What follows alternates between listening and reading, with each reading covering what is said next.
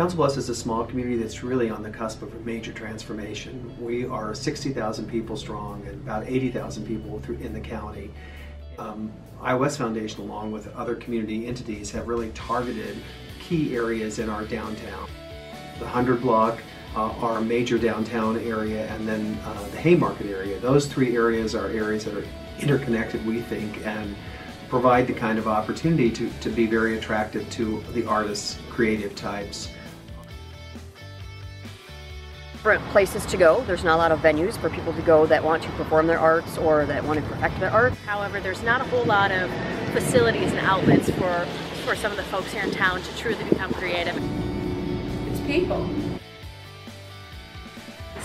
PACE is a, a great idea and a great concept of connecting strong community uh, members that are focused on um, arts and culture in Council Bluffs and the surrounding communities.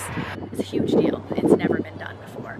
In the Haymarket area, the iWest Foundation had invested in um, arts building for artists, a live workspace, but nothing has happened down there over the years. And so our goal is to create enough density in that area through this project for Haymarket Building 2, as well as continued uh, our partnership with uh, a builder who would build uh, additional living space and maker space for the artist community and really get the kind of density to uh, to animate that area. What we'll be able to do is take a lot of those smaller, often underfunded um, groups that like to work today in the arts arena, and it will take those and be able to combine those into one larger entity that will be able to maintain and have a more sustainable future with more funding sources and opportunities going forward. So to have a connection with um, a space like Harvester 2 right next door is a huge asset to us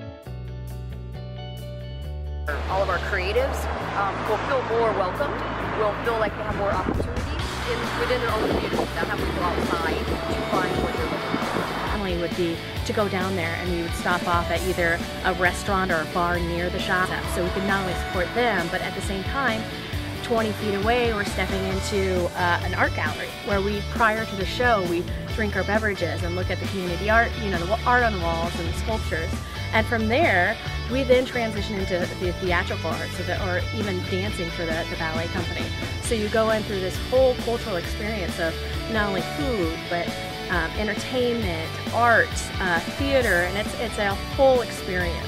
Make that the place for arts in Bluffs for Highlight County.